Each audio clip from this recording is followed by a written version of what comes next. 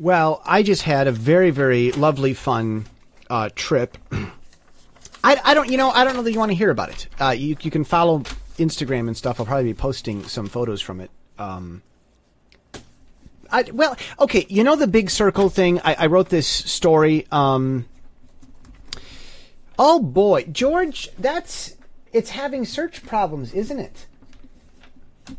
Yeah, the the I think the WordPress site that we're running the Pacific Daily Times on is using like Flash or something, and everyone's sick and tired of Adobe. It started with uh, the iPad 2, did it? Apple stopped supporting Flash. I, but anyhow, some some dependency, some little tiny program somewhere, because a website has lots of programs running to make it work, right? Something isn't letting you use the search tool. So I need to get that figured out. I mentioned it last week. You know, the the Linux community is downsizing uh, 32-bit support here soon, which means everyone's going to get more focused. We're all getting more focused. This is really weird.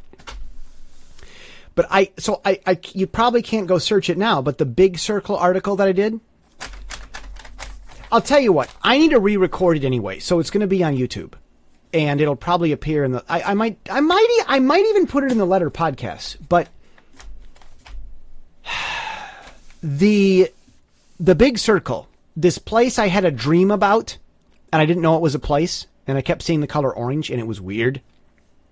I went there, and apparently, I mean, I, I was in Hong Kong, and I talked with people from that area, and they're really excited they're th- they're looking at this post from what 2014 happened before that. They're looking for that uh, that and they're going, "Wow." So I've been talking with lots of Christians who are really excited about praying. They don't like Sunday morning. They don't like Sunday boring, you know, boring Sunday morning. Don't like it. Jesus is real. Um, he's a re- he's real. He really heals, and you don't have to go to a building to meet him. He's real.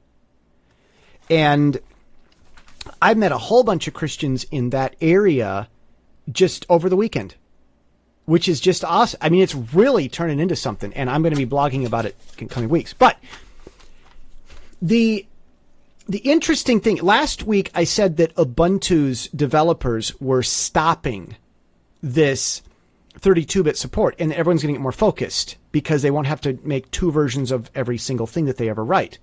Well, there's more that I found out, and I'm going to tell you the backstory with this. So, not all of this is news. Long ago, if you know anything about Ubuntu, U is the only vowel in Ubuntu. It's Zulu. Figure it out and Google it.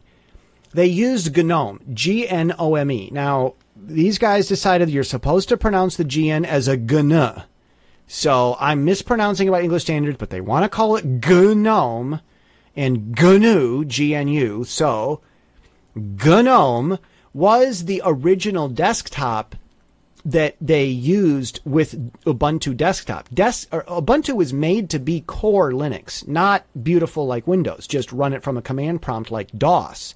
So that it, it awesome for web servers. It or any server. I mean, if you got a computer geek, you turn the computer on, you get it set and let it go. You don't you don't need beautiful Windows. That's what Ubuntu was meant to be. But they put a desktop on it so that you can use it at home in the office and do stuff. I mean, you can't you can't browse the web web from a command prompt. So originally, Ubuntu came with GNOME version uh, two, I think it was, whatever. GNOME three came out, and the guys at Canonical, the company that that owns Ubuntu, like Microsoft owns Windows, they got irritated with the bugginess and the weirdness in GNOME 3. Now, you'd think they were Christian because when they didn't like the colors in the curtains, rather than making it work, they said, We don't like this GNOME version 3, we're starting our own. And so Ubuntu went out, or Canonical went out, and they made their own thing. They made their own desktop. Now, this is where it really gets interesting. They were splitting off from GNOME, just uh, this other company group running the desktop, to make their own desktop. And what did they call their split off, their their church split, if we will, of of software? They called it Unity. As a Unity in name only. It was annoying, and they know it. The, the guys at, at Canonical know that Unity was annoying. I spent a long time fixing it so that I install it and my little special script fixes a lot of the nuisances. It was good in a lot of ways. It's called Unity. I'm I'm podcasting, recording on it right now. I don't mind it. Once you fix it. Uh, but but it it had it had its problems. But Canonical was spending all this money to fix it. Now, recently and shortly thereafter, GNOME 3 got their act together and, and it wasn't buggy anymore. And they've also got XFCE and they've also got KDE and they've got others, um, Cinnamon from the guys that make Linux Mint. There, there are lots of desktop environments, but they went off and did their own thing. Well, now that's costing too much money. And so they're downsizing it. They're, they're complete. I think Canonical's got about 700 employees and they're letting 30 people go because they're losing so much money developing all. I mean, they're they're they're reinventing the wheel. They're they're they're doing what someone else is already doing because they don't like how they're doing it, and they're consolidating. And here's the interesting thing about this: Ubuntu 1804, I believe. It, you know, it could be 1710, George. In one of the upcoming Ubuntu releases, I think it's 1710. It's the one after this. There won't be any more Unity desktop they are going to go back to using GNOME. GNOME is this other group of people that make the desktop environment, and they're just going to say, okay, we're going to do the boring, ugly server side to make it work on the back end. You guys in your beautiful desktop environment body work, go for it. You paint the car. We're just going to work on the engine. And everyone's going to get more done. Um, desktop developers aren't going to have to help them you know as much. You're going to be able to focus on GNOME or or XFCE, which is also incredibly simple and awesome. So I see people dropping their side projects. People are no longer trying to do everything themselves. They're cooperating a lot better in the Linux developing world.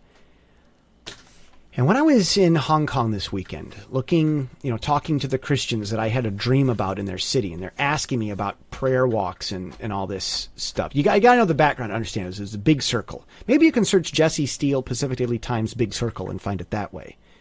Um, and uh, before I get it recorded, but they they were talking to me, and this weekend, Easter Sunday, all the local pastors in that part of that specific zone of Hong Kong, they all got together for their annual Easter massive and mass uh, Christian worship, worship uh, church service. And I happened to be there that day. So now that unity in name only is gone vis a vis Linux, uh, we're specializing, we're focusing, our attention is less divided, we're going to get more done. Uh, that's that's cool and awesome, isn't it? Well, um, as far as uh, now, this Ubuntu Unity desktop has inspired Canonical to to make Ubuntu work on mobile devices. They're downsizing that, but another guy who loves it is going to pick up and carry that. No, I, it'll be interesting to see where the Ubuntu for mobile stuff goes because Canonical's dropping it, but another guy's picking it up because it's open source. So that's the news and related but not the same. I'm going to get to the point. There are two types of reasons people predict the future.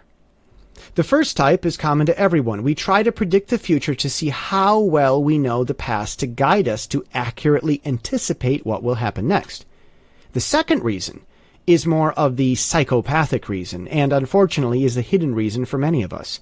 The second reason for predicting the future is because we prefer our prediction to become the future. Sometimes this is called wishful thinking. Believing something will happen and agreeing that something should happen are two different things. Don't be confused. And that's the point. I'm Jesse Steele, jessesteele.com.